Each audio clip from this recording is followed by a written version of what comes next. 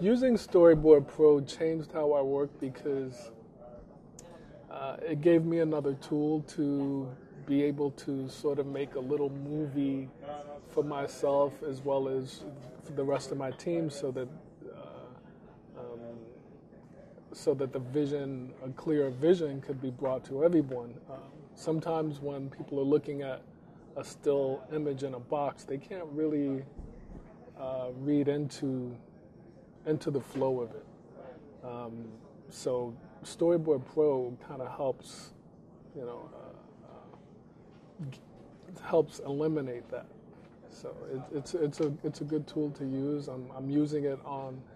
I used it on Assassin 2. I, am using it now on Splinter Cell 5.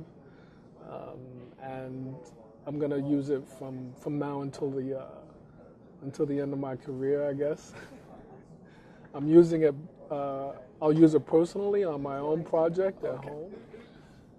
Um, because of Storyboard Pro, uh, because I'm so used to doing things in a traditional way, um, it, it's allowed me to be able to use a camera with my 2D drawings and uh, do truck ins and pans and uh, play a little bit with. Uh, it, it, it, gives it a, a, a, lot more life. It adds a lot more life to a, a flat drawing. So it's, um, you know, it, which would add more emotion to any piece, you know, which is something that's always helpful to any artist.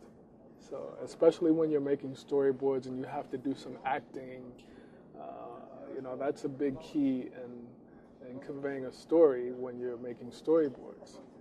So when when you have a tool like uh, when you're able to incorporate sound into your storyboard, and uh, you know you you you actually see it come even more to life than uh, than it did when it was just moving images or just flat drawings.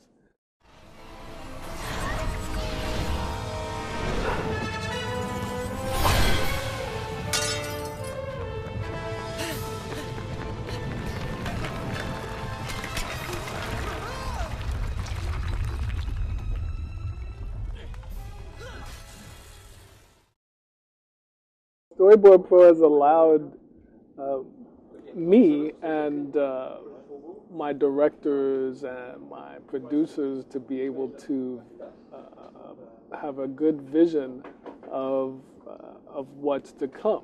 Uh, whereas before, it took a little uh, longer for people to um, really read a board, and now it's you know it seems the flow seems to be a lot easier because you can make your AVI and shoot it on a screen and everyone can see it and you'll get immediate feedback. Whereas it'll take time for people to look at your drawings before and uh, you know it, it's, it's taken time.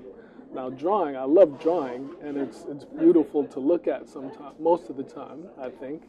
But with Storyboard Pro, you're able to take it and, and you know you can you can import your drawings, import export your drawings, and and manipulate them in, in the program, and it's just absolutely fantastic. So I've recommended Storyboard Pro, first of all, to myself because I'm working on my graphic novel, The Power of Blackfire, and uh, it's, it's an amazing piece. I'd like to make a, a, a 2D trailer um, using the program, and that's what I'm working on at home right now. So um, I would recommend it to any animator, any illustrator, uh, any graphic designer, anybody who ever wants to make any picture move. Um, I've, u- I've tried to learn things like uh, uh, combustion and uh, After Effects and Storyboard Pro. The learning curve is a lot uh, easier to, uh, to overcome. Um, you know, even for somebody who's